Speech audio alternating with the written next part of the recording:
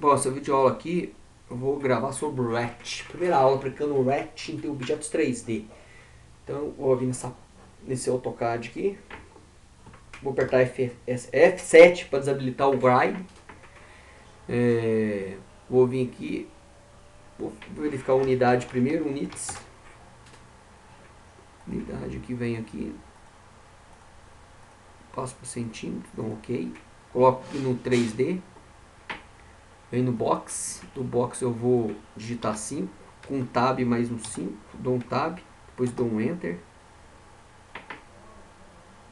Vem aqui mesmo, digito 4, dou um enter. Beleza, agora o que eu vou fazer? Eu vou trabalhar com Zucchini. Então eu vou vir nessa ferramenta aqui, são as coordenadas x, y, z, colocar ela aqui, ó.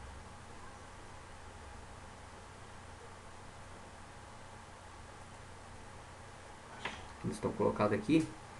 Vou vir no rotation aqui, ó. O grande segredo disso dar certo é essas coordenadas aqui, essa bosta dessas coordenadas. Essa porra aí que dá pau nos desenhos. Eu vou vir Extract Edges. Dou um clique aqui, vou selecionar o objeto inteirinho, confirmo com Enter. Vem Draw, Ratch. Já escolhi essa aqui, eu vou definir de uma vez aqui. 006, pronto. Pick points. Tá vendo? Dou um enter. Ah lá, já confirmei. Já coloquei essa essa essa esse rat, essa rachura aqui. Dou um clique nela aqui, ó. Digito copy. Dou um enter. Arrasto aqui um pouquinho. Daqui eu já defino ela aqui, ó. Confirmo com enter. Tá vendo?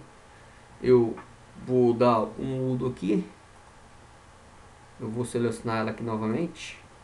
Botão direito do mouse, copy, select, seleção. Vem aqui. Dá um enter. Já confirmei. Vem aqui essa parte de baixo. Eu deleto. Ou então dou um Ctrl Z, volta aqui. Tá vendo? Aplicando, apliquei o RET nessas duas camadas. Mudo aqui para a gente vê-lo. Tá vendo? Um pouquinho. Ó. Clicando no ratch. Ó. Venho aqui.